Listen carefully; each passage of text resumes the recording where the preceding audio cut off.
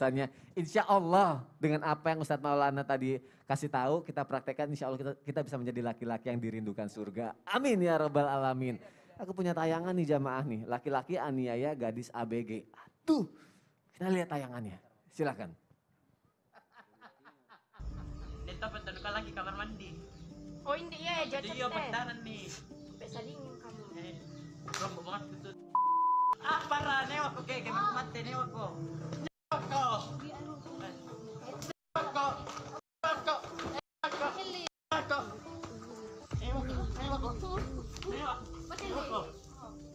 Pero kang kapit nyo. Tahimik ko ka. Dali, quick. Astagfirullahalazim, nauzubillahi min zalik. Astagfirullah. Kalau kayak gini gimana mau jadi laki-laki yang dirindukan surga? Tadi Ustadz Maulana baru menjelaskan jangan emosian, ini malah seperti itu ya Allah. Baik jamaah yang ada di rumah, kira-kira apalagi nih? Aku mau nanya sama Ustadz Dai Raja. Caranya biar menjadi laki-laki yang dirindukan surga harus seperti apa sih? Mohon penjelasannya Iya. Ustadz Dai Raja. Tabe guruku semua, insya Allah izin. Iya. Eh, gimana ya? Apa ya? Menjadi seorang suami, Oh iya. suami yang baik. Karena Allah sendiri mengatakan dalam Al-Quran, wa'ashiruhunna bil ma'ruf. Ya. Pergaulilah istrimu dengan baik.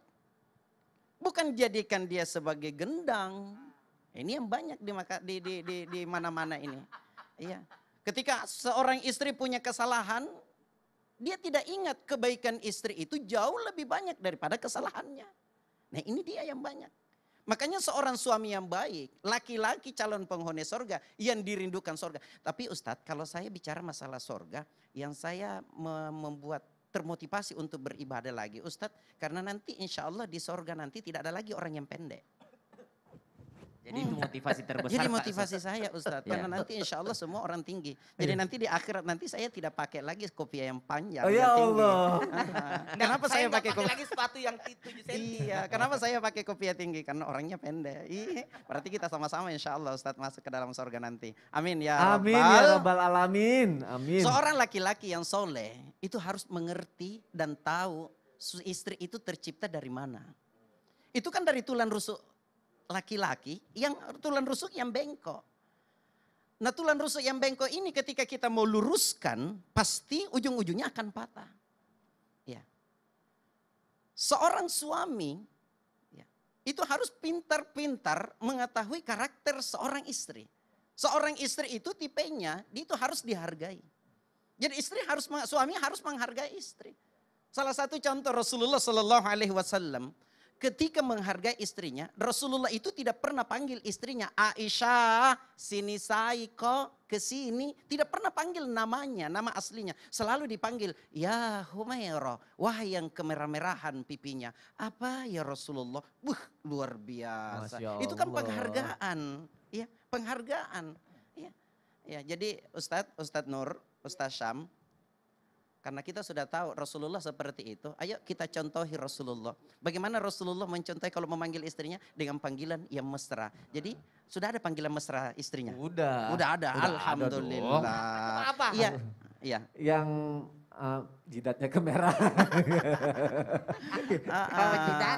Jadi kalau kalau kalau kalau bisa cari yang identik dengan diri istrinya. Apa itu identik istrinya? Kalau Siti Aisyah itu kan putih kemerah-merahan pipinya. Iya. Jadi walaupun tidak pakai pemerah pipi, itu mukanya tetap putih kemerah-merahan. Hmm. Kalau kita kan nanti pakai ini kayak orang habis ditampar. Iya. Itu kan yang seperti itu. Nah, itu dia.